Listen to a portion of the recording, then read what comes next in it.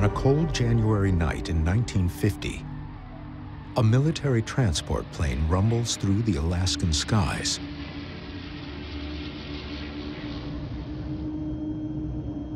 On board, 44 people en route to Montana. Two hours into the flight, they communicate with base. And then,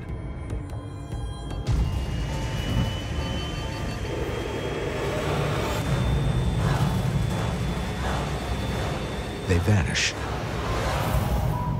No one knows what happened or what they saw, only that they have never been seen again.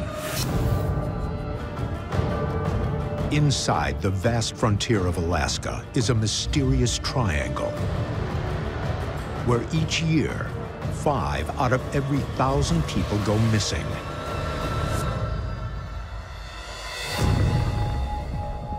Something out there. Three investigators look for answers. Jax, a former police officer. Ken, a specialist in strange phenomena. And Tommy, an expert on Alaskan legends. Together, they uncover mysterious sightings and ancient legends, exploring the possibilities of those who go missing in Alaska. All right, guys, here we go. All right, ready to roll? The team's investigation begins outside Snag, Canada, right at the edge of the triangle, heading toward the site of the last reported communication of the missing C-54.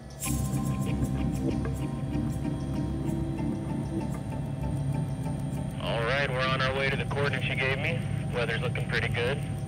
No single event captures the mystery of the Alaska Triangle better than this lost C-54. When one person goes missing, that's strange. But when a whole plane load of people vanishes, now that's a real mystery. It's been 65 years since this plane went missing. I think it's incredible that really no sign of it, no trace of it at all. 70 to 100 planes that actually searched for this thing. Actually had a couple of planes that went down during the search. You think the melt would push something off? Something would be found at some point. The Douglas C-54 was a large plane for its time. The four-prop transport had a wingspan of 117 feet and a max takeoff weight of over 35 tons. Capable of transporting 50 troops, it was at near capacity for its fateful trip. Somehow, it did not leave a shred of evidence behind. The fact that it just disappeared is mind-boggling, really. As an investigator, my initial guess is that the plane just crashed. That's the easy answer, but it does leave a lot of questions. Why no distress call? And why were no pieces of the plane ever found? The Alaska Triangle is a huge area, but this is a massive plane. It really feels like someone should have found something by now. Have, have you ever seen any airplane wreckage out here? I have, actually. Lots of, uh, almost every pass has quite a few wreckages. Small and big planes alike. Why does this area have so many crashes? With the bad weather, it can uh, really push you into a sticky situation where uh, you end up having to drive it into the ground, unfortunately. The number of air disasters in Alaska is staggering.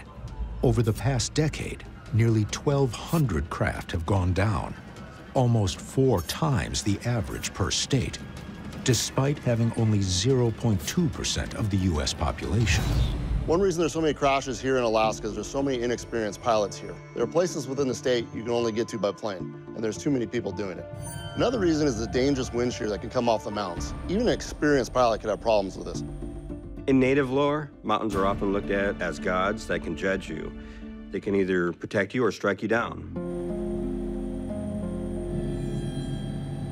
So we're coming right up on the location where the missing C-54 had its last radio transmission and essentially disappeared from radar, right up here in this little valley. How close we are to the mountain. Another reading there, Ken. We're holding pretty steady at 2.5 to 5. Ken Gerhard has an EMF meter, a device commonly used to measure electric flow in power lines.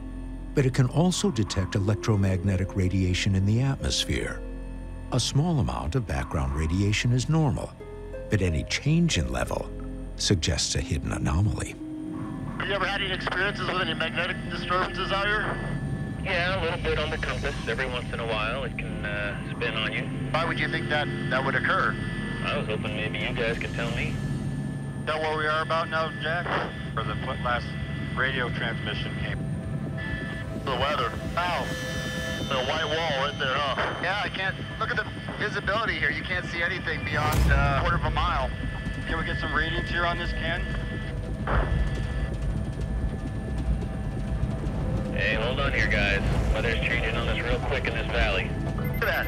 Yeah. The first time it's reacted like that. It's kind of like a solid, Right back through that last valley. oh, holy crap, look at that. Did you Yeah. see that? Just spiked red. Off the charts. Feel that? Everybody hold on. Feel that? Yeah. Crazy. Hey, Wow, yeah, we're definitely hitting some turbulence now. whole thing's shaking. My ears are popping. Whoa! You see that? Getting a pretty active reading right now. Sorry, guys. This weather creeped out of nowhere. I gotta take us back. Oh. Well, Man, that chopper ride was utterly terrifying. I mean, you had the sudden surge of turbulence, there were the electromagnetic spikes. I honestly don't even really know what all that meant, or even if those two things are related. According to meteorological models, violent weather is caused by pressure differentials, not electromagnetism. Were the EMF spikes before the storm just a coincidence? Or is there more to it? It seems like a lead. Got my adrenaline pumping there for a second, man. got mine going. Now my heart's going. I'm sweating. You know, back in the 1970s, there was a study conducted to look at different areas around the planet where there were high incidences of missing airplanes and ships. And a lot of it was related back to geomagnetic properties. So there's this theory that perhaps we're dealing with these sort of vortex areas. A vortex is an area of intense concentrated spinning. Natural examples are whirlpools in water or the air of a tornado.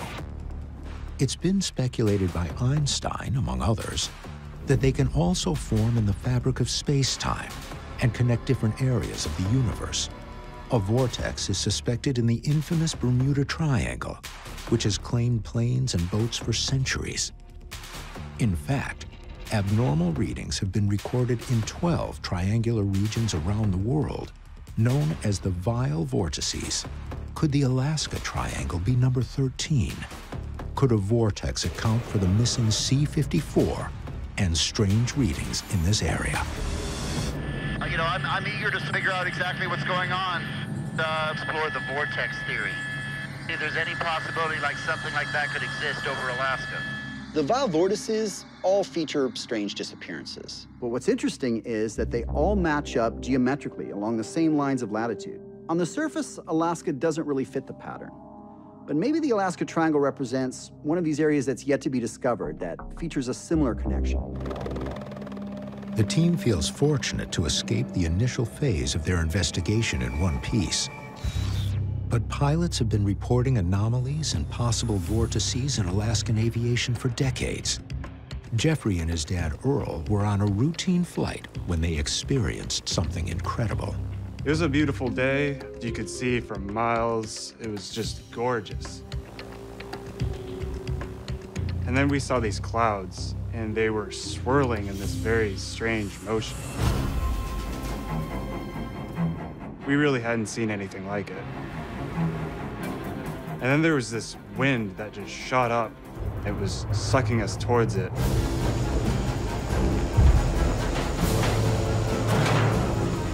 Somehow he was able to balance out the plane. We both got out of there alive. Just pure luck that day that both of us got out.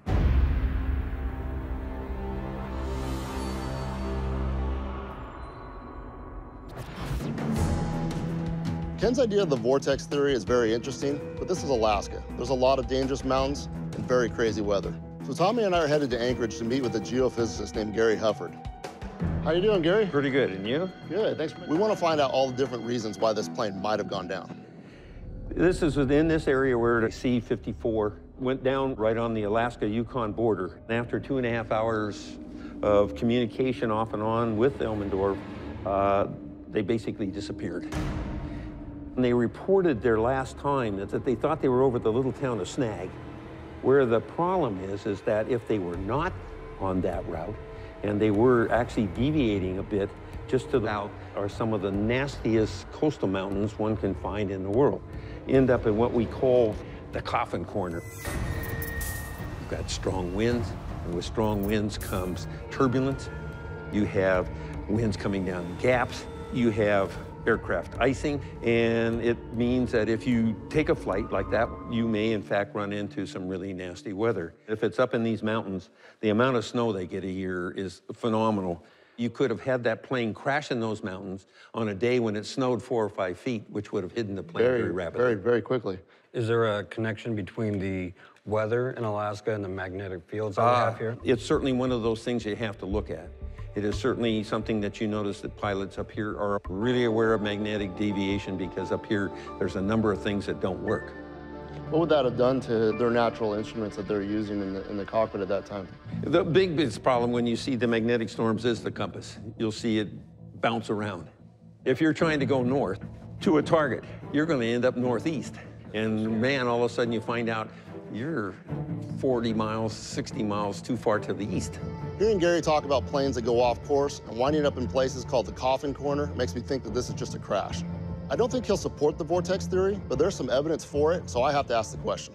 I was wondering if you could give us your opinion on the possibilities of vortexes. Well, that one's a tough one to call. Um, it's certainly one of those things you have to look at. There are some clues that say we have magnetic field changes. When I look at the magnetic vortex possibility, this is an area that we should be looking at. You hear the numbers about accidents, and Alaska is always many times above the, the norm for the United States, and yet we only have 0.2% of the nation's population. The question is, what's going on?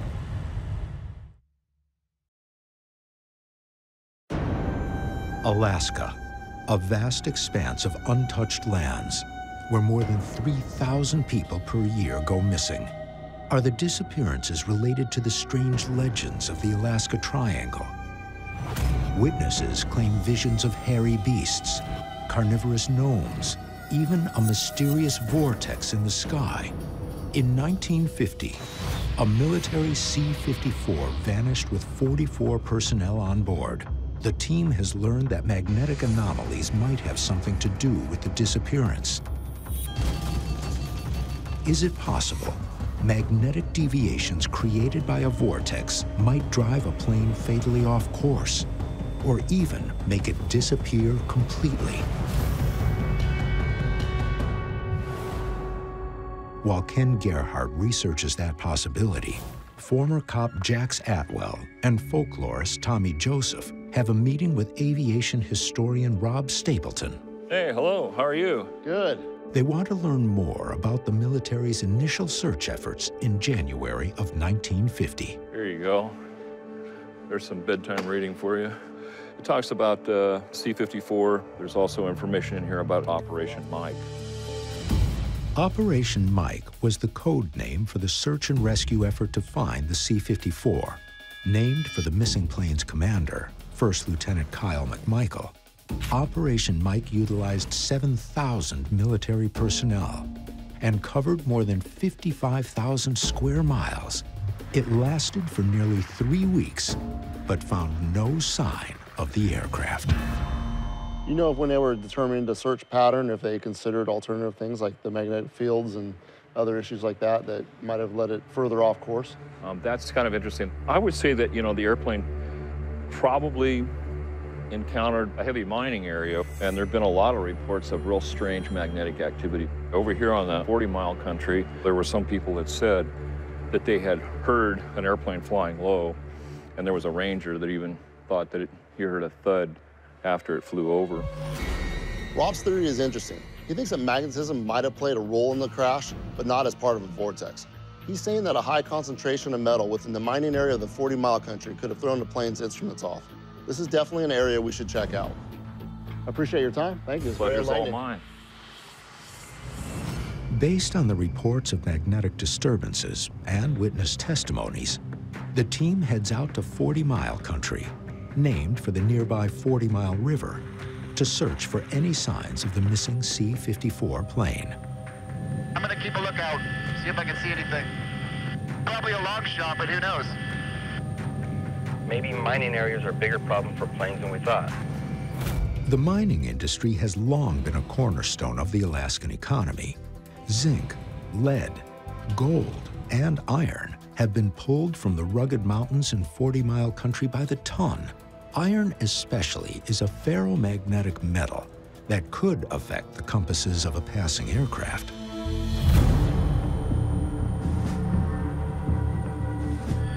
Obviously, one of the most treacherous places that you could possibly be flying over. I mean, it's probably treacherous air currents that kind of float off of these mountains and so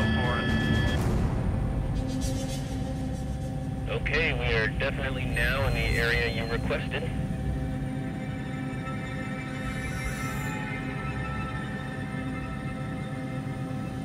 Hey, look up here. What's this?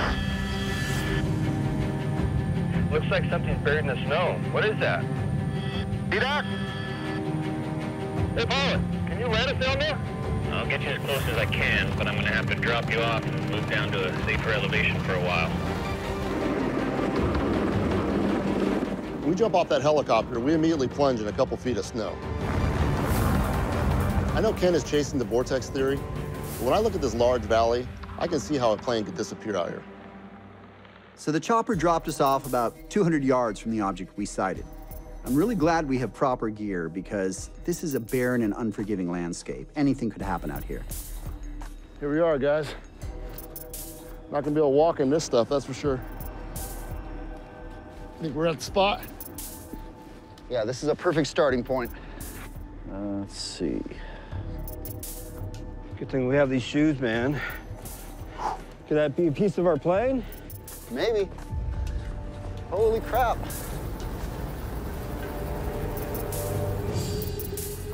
Citation. Looks like the hood of a snow machine.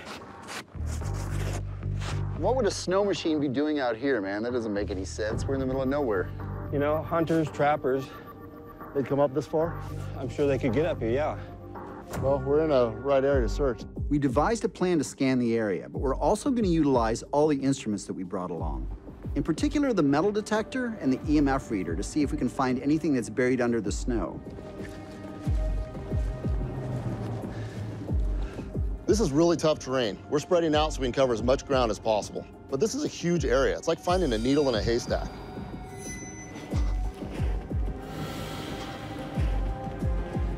Hey, Ken, over here. Come check out these readings. Jumping. Yeah?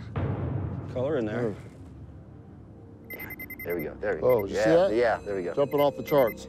For the second time in this investigation, the EMF meter picks up strange jumps in electromagnetic radiation levels. If the meter was picking up the metal in this area, the reading should stay consistently high. But the wild, inconsistent fluctuations suggest some mysterious variable beyond just rocks. Similar erratic readings have been recorded in the Bermuda Triangle. Could these spikes reveal the opening and shutting of a vortex? There is a scientific precedence for this process. Black holes. A black hole begins with a collapsing star that explodes in a supernova, which releases massive amounts of radiation. The inner core then collapses, creating a vacuum so strong not even light can escape. Could the same process happen on a much smaller scale, right here on Earth? It is possible that vortices have been seen by native peoples for thousands of years. Mystical spirals can be found in the native artwork all over the Americas, all the way to Europe. Whatever inspired that art obviously made a lasting impression. You know, with regard to the vortex, I do have a theory that when the vortex opens, theoretically, it releases this huge amount of electromagnetic energy. But when it closes, and it would have to close quickly, it couldn't be open for a long time or it would suck in everything, right? When it closes, you have kind of a dramatic reduction in electromagnetic energy. That type of energy might affect, you know, uh, aircraft, instruments, things like that, and cause them to crash. The vortex theory sounds cool, but until I see some hard evidence, like someone's actually recorded this thing, it's all just a bunch of talk to me. I think the plane can still be found. With the sun heading down, the team has to abandon their search for now. But in order to explore his vortex theory, Ken heads to meet with Melanie Hodgman, a fellow investigator of the unexplained. Ken Gerhard. Hi, Ken. Really nice to meet Pleasure you. Pleasure to meet you. Thanks so much for meeting me out here. Not a problem. Ken wonders if a vortex could act as a doorway through which planes in the Alaska Triangle could disappear. And if so, could the door go both ways? Wow, this is really breathtaking, Melanie. It is a beautiful view. The, the whole state of Alaska, that's what I love about it here. The whole state looks like a postcard. I wanted to bring you to the site because I had the UFO sighting right over in this area. It was the most incredible thing I've ever seen in my life. And we're right in the trajectory that that C-54 flight was taking in the 1950s. This revelation from Melanie about seeing a UFO here, this could be a game changer for our investigation.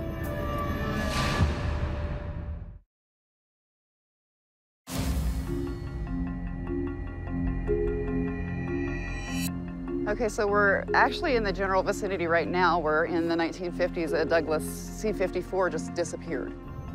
I wanted to bring you to the site because I had a UFO sighting right over in this area. It was the most incredible thing I've ever seen in my life.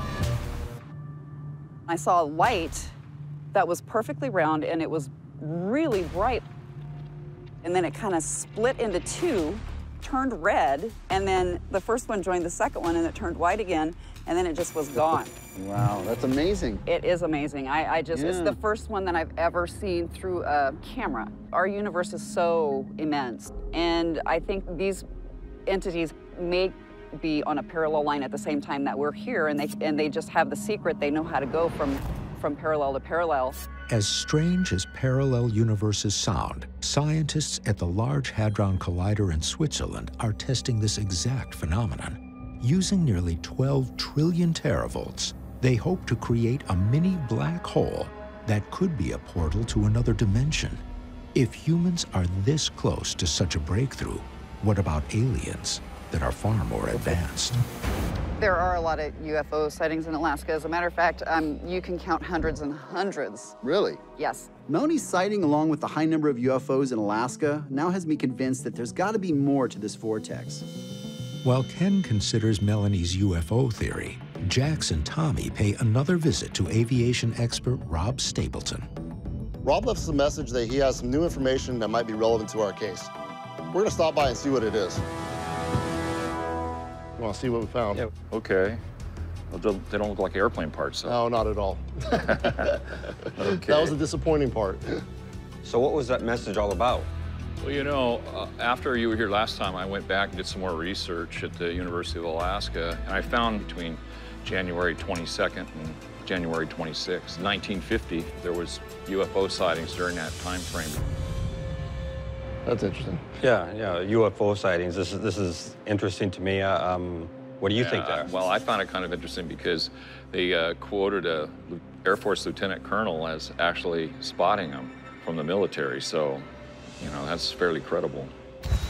According to official reports, Lieutenant Colonel Lester F. Matheson was on Elmendorf Air Force Base, where the C 54's flight originated, when something caught his eye. He saw three orange red objects moving together high in the air. They were shaped like cigars and flying in a curved line towards the north.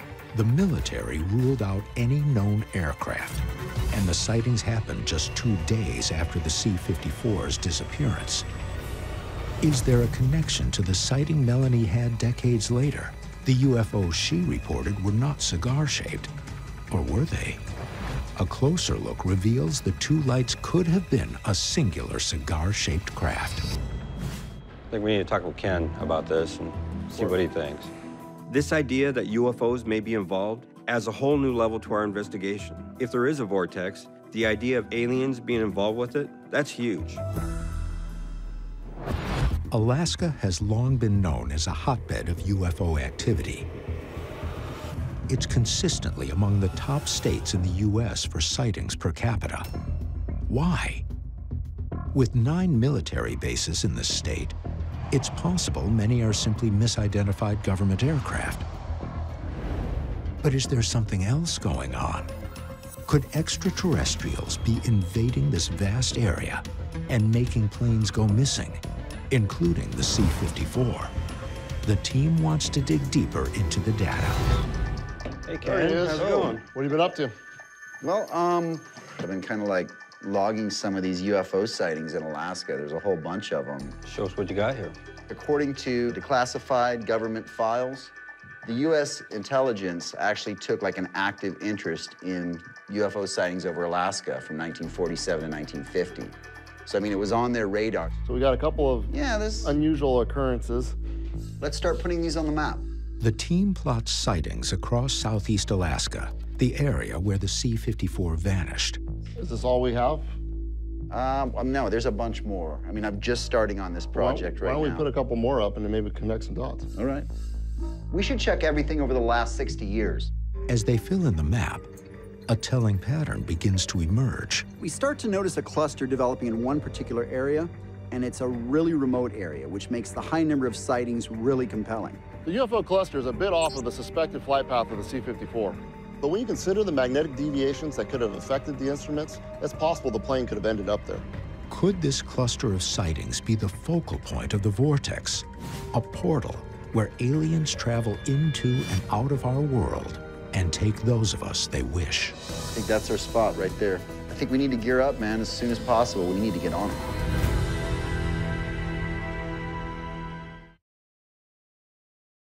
In the skies of Alaska, planes go missing with alarming regularity.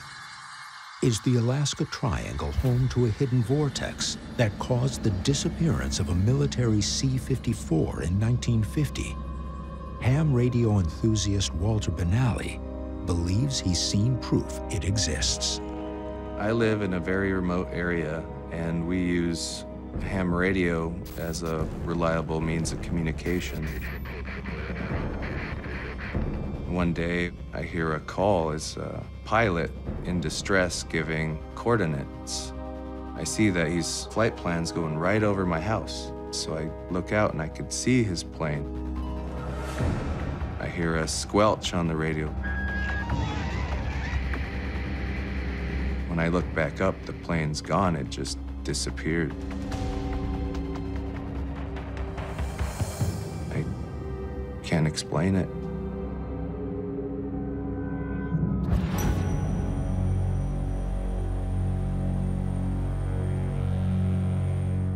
We're flying to our UFO hotspot, and I'm really excited because we're finding a correlation between a high number of UFO sightings and the spot where this airplane disappeared.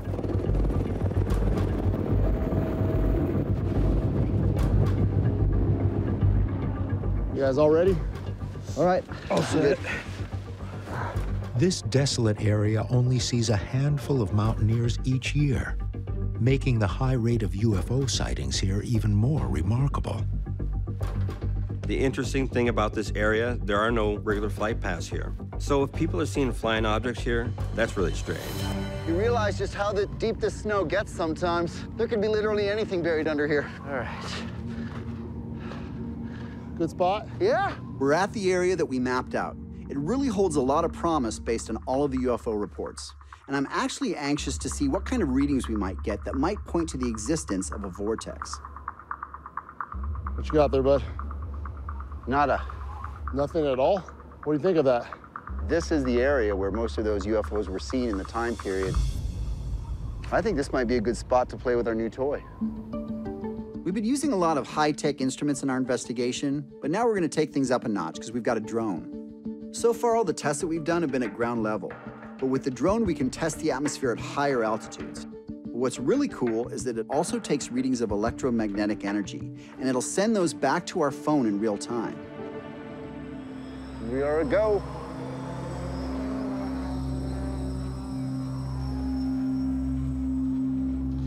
What you got there, bud? Uh, looks normal so far. You gotta get it up there high. Whoa, this is weird. This is weird. What you got? It's spiking. It's spiking, check it out. I'm looking at my app and suddenly everything goes haywire. I mean, all the readings are off the charts. I've never experienced anything like this before in all my years of research. Man, this is like really strange. I got strange. no eyes, guys. Where's our toy? I lost it. I can't I'm- see it. Man, I'm losing everything here. Tommy, you got anything? No, I just lost it. It was here a minute ago. It was just gone. I looked down It's at gone. the phone here and it was completely gone. I don't hear anything either. I honestly have no idea what happened to the drone. It's the strangest thing I've ever experienced. I mean, one second it's there, the next second it's completely gone.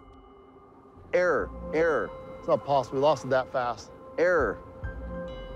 So those readings just went off the charts and it's just gone. Uh, I don't know, man. Hey guys, look like a storm's coming in. These clouds are dropping. Oh, it's gonna crap. be snowing here soon. Call in Sam. We got to get out of here. Losing our drone is a big setback. All the information is gone. Now we need to regroup and see where we go from here. With violent storm clouds closing in, the team knows they have to leave. They've experienced sudden Alaska weather changes once. They don't want to again. What do you guys think happened to the drone? Well, it just took off. I think uh, flew right out of range. It's really distressing because, I mean, obviously we have a lot invested in that piece of equipment. You know, we don't have the drone anymore, so we're just going to have to kind of rethink things. It looks like the weather is getting uh, a little hairy here, so hang tight. Wow, this is crazy. Holy cow. I'm changing flight altitude and searching for a smoother pocket. Try to stay relaxed. Wow, weather. This is ridiculous. We can't see anything here. This can't be good. This is pretty hairy. We're moving fast. Heading in right into a whiteout here. Okay, it looks like the change in the pitch has given us some positive stability. Thanks for hanging in there. The crazy part about being in a helicopter in this type of weather is you can feel everything. You can feel every wind gust, and it feels like you're gonna slam into the mountain at any moment. Hey guys, look. Look at that. What do you got? What do you see down there? What is it, Jax? Metal. Possibly a fuselage, maybe a wing. Well, whatever it is, we need to get down there and check it out.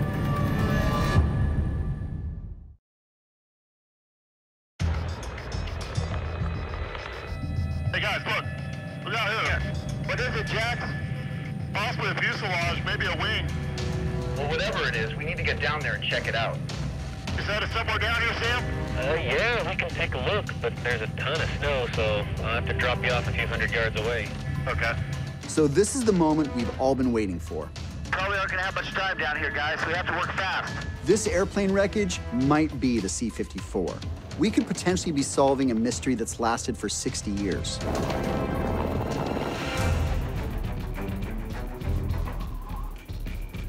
All right, guys, stay tight. We're hiking across the glacier towards this plane wreckage, and it's extremely frustrating. It's taking us forever. The snow is very deep, it's very slippery, it's freezing cold out here, and we're totally exhausted at this point, but we just want to get there. This air's really thin up here. And because we know that the weather conditions can change in an instant, we've got to hurry up and get this thing done. We're almost there, guys. That thing's pretty mangled. Any markings on it?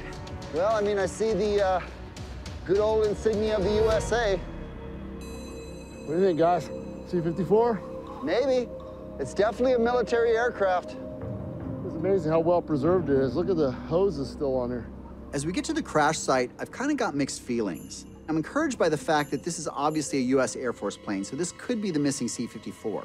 But on the other hand, I'm reminded about the tragedy that occurred here. People actually lost their lives in this accident. Knowing this is a military crash, the team avoids going inside the plane out of respect. They start gathering information so they can report it to authorities.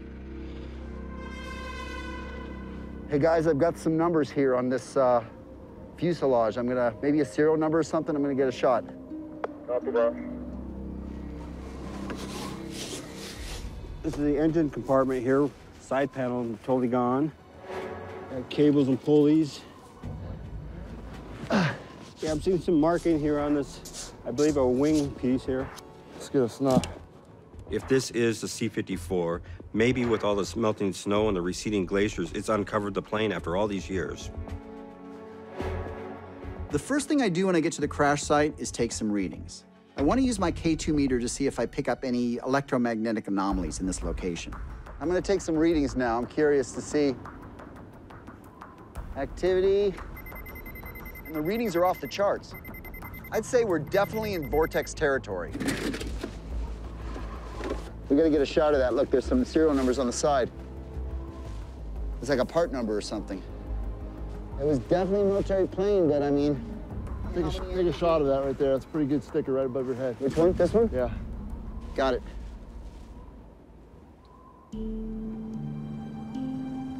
Guys, we got five minutes till the helicopter's here. Let's roll through our checklist.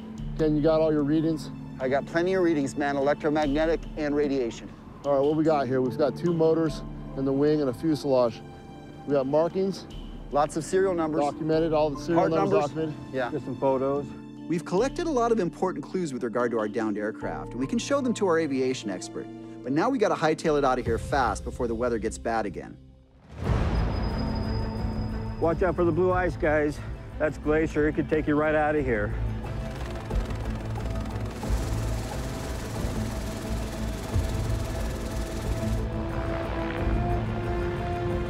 Now, we're gonna meet with Rob and get his expert opinion as to what this downed aircraft might be.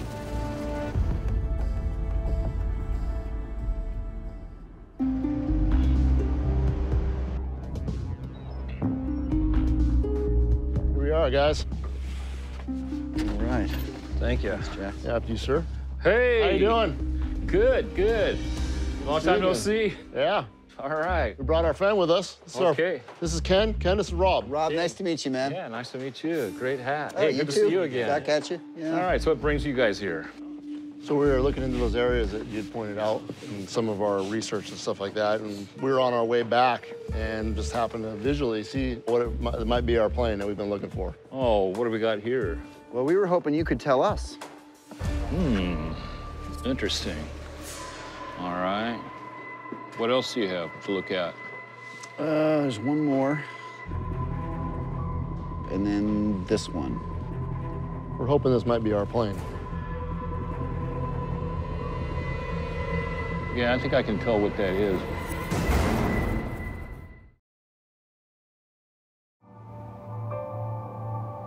We're hoping this might be our plane. Yeah, I think I can tell what that is. Hate to tell you this, guys. It's not the right airplane. Well, that is really disappointing, guys. Extremely. It's a B-29 refueling version. There were actually two B-29s. The other one was coming back to uh, Anchorage, Elmendorf, and they, they ditched on a glacier. Rob has identified the craft as a known crash from the 50s, one of several during that decade, including the C-54. Well, this is really good news because if there's multiple air crashes in this particular area, this could be the vortex we've been looking for. The fact that we've had so many downed military aircraft in one specific area, and it's the same area where we've had all these UFO sightings, it's very intriguing. I think we need to do more testing in this area, see what's going on out here. I agree, but let's get up there before sundown. Yeah. Rob, thanks for your time, man. All right.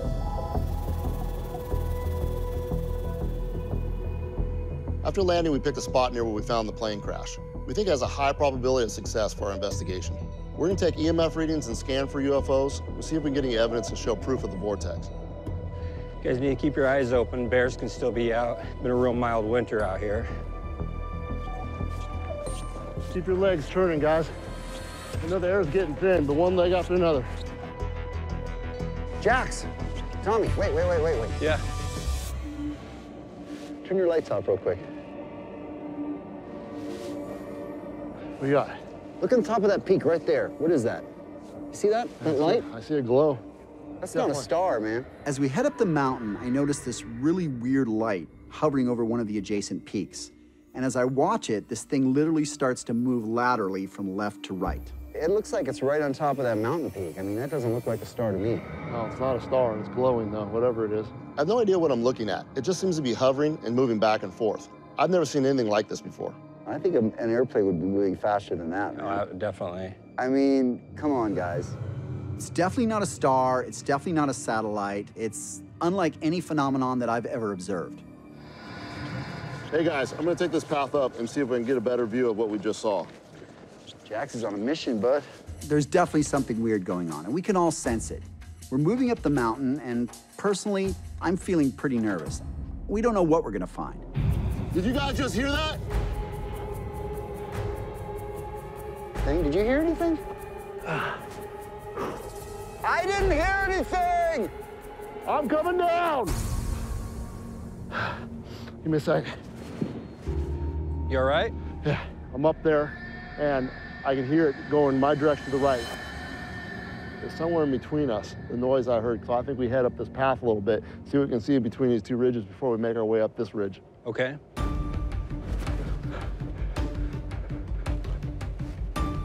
Wait, let's get this out. How's the radiation, Tommy? 0.08 curies. That's normal. I'm gonna do an EMF real quick. Okay. Oh, we're getting something. Look at that, man. It's crazy. We're definitely headed in the right direction. Eyes open, eyes open. Hey! What is that? Look! What is that?